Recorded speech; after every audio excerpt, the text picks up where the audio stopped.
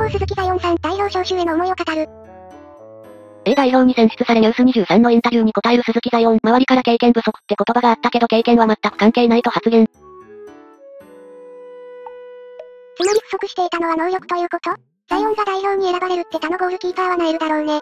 ザヨンも成長してミスが減っている。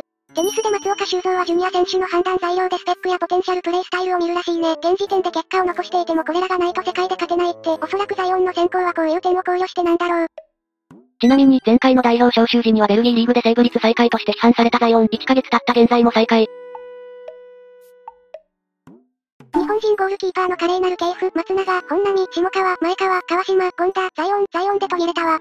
谷と大迫は普通にベルギーリーグならレギュラー取れそう。ザイオンマジでひいきで使われてるだけなのにな。あとオランダのハーフもひどかった。佐野弟にミドル決められたのひどすぎた。谷がどこにいたと思ってるんだ。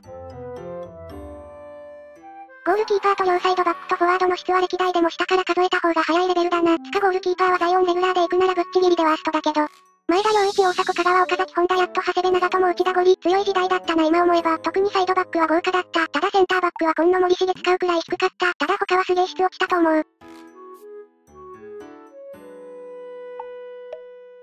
2010年の日本代表より確実に弱いな。